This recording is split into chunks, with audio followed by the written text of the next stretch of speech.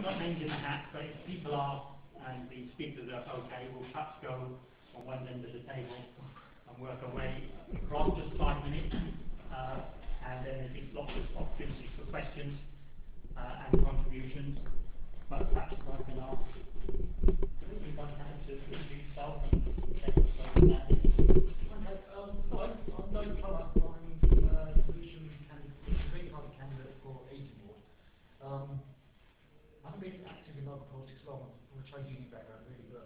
housing is such an important issue.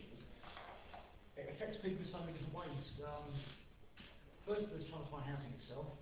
Secondly, with the low wages we've got, um, trying to afford housing, if you can find somewhere it's empty, trying to afford it is a nightmare.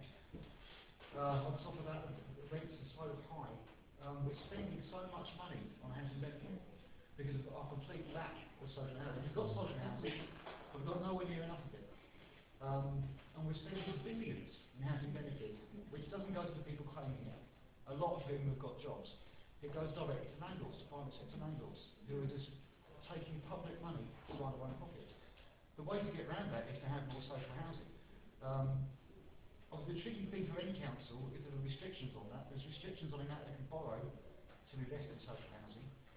And there's also the ever-present danger that Boris Johnson will just swoop down and say, no, you're not doing that, you're going to build this instead. Which has happened to a lot of councils, things happened here as well. Um, but we do, somehow we need to change the culture on the council so that instead of approving unaffordable developments such as Renaissance down at Bunbury Vale and the Commonwealth Wharf and so many around here, Instead of approving these developments which nobody here can afford to live in, they start focusing on and planning developments of social housing that people can afford and that the taxpayer can afford. There's a, we save so much money in housing benefit if we're giving it to councils instead of the private sector landlords. Um, additionally, where is the commitment to renewable energy? I, don't- I know it sounds a bit cliche rep member to say that, but where is the to it? We've got escalating energy bills. People can't afford the energy bills that they've got. But there doesn't seem any particular move. But where are the solar panels on any of the new developments that have gone up? You know, if, we put that infrastructure in place into the buildings, we can be setting up energy cooperatives and getting people breaking the reliance on the big six energy companies. And there's quite a lot of situations where people generating electricity for those, com- for these local co-ops are getting money and selling it back to the national grid. Um, we should certainly be focusing on that more. But, but so the big problem is these big developments. I've got friends who was on holiday in Japan recently, and he was in the lobby of the Marriott Hotel. Um, flats at Renaissance Development were being advertised in the lobby of Mar- Marriott Hotel in Japan. If you go on the Barratt's website, uh, flats in that same building being advertised on the strength of their rental income. Not on the strength of what they've been by flats into living, but purely on the basis of the rental income. That's not about providing homes for people here, it's not about providing homes for anybody, it's about providing investments for people.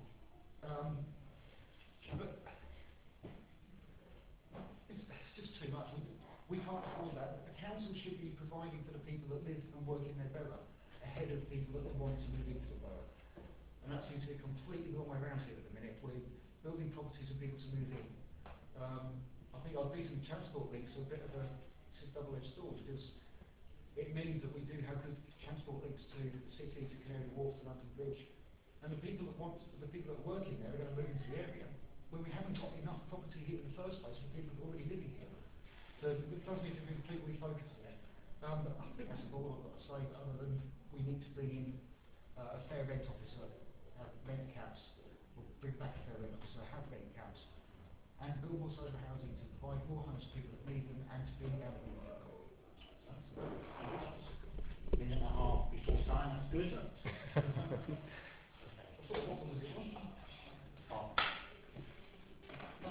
Um, my name is Barbara Janiszewska. I'm one of the candidates in Evelyn Ward.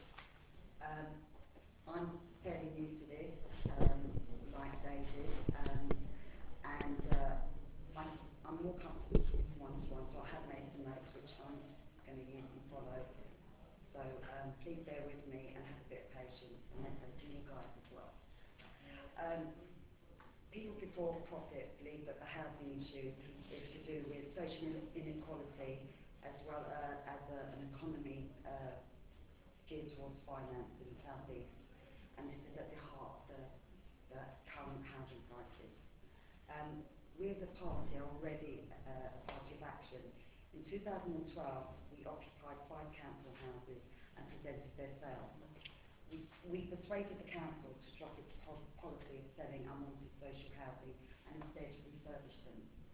Um, when there are over 8,000 people on a waiting list, and it was 17,000, um, people have been cut from the list. It was an outrage that the council, in the first place, were going to sell off this, this housing.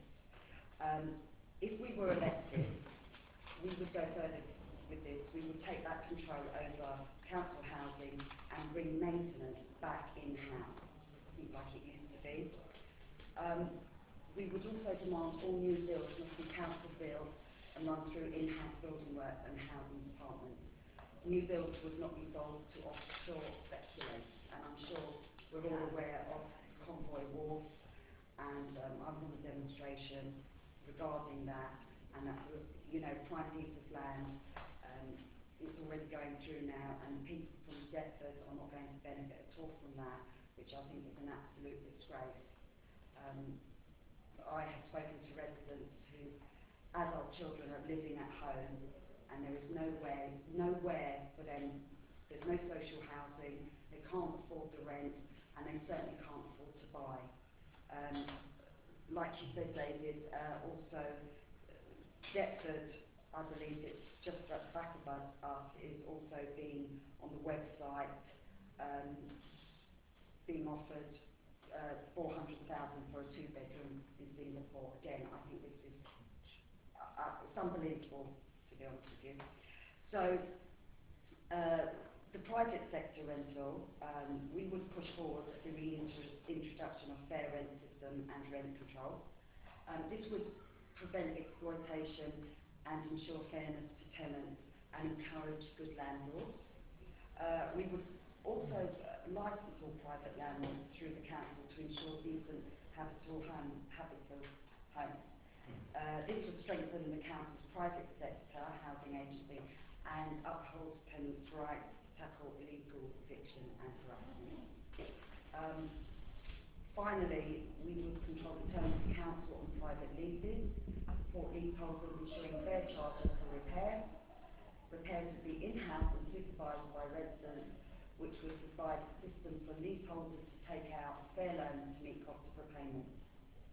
Um, as I say, just behind the Deptford project, 121 residential units. These are already for sale at 400,000. The council has given eight units which are affordable, um, and that's 80% of the market price, which is about 320,000. Well, to me, that's not very affordable for the local people.